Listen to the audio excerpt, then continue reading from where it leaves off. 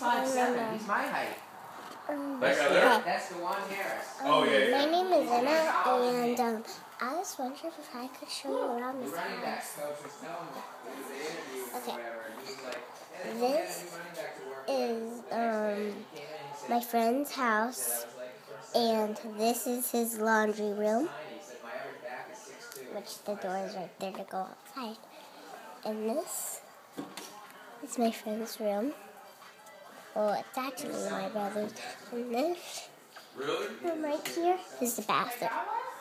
I know it looks pretty amazing and around. He's selling cars in Jacksonville. He just got a job selling cars. And, this is his brother's room. See, this is the living room for the people in there. And this uh, is her is the kitchen. I know it's the kitchen. And this is like the living room. This is the living room too.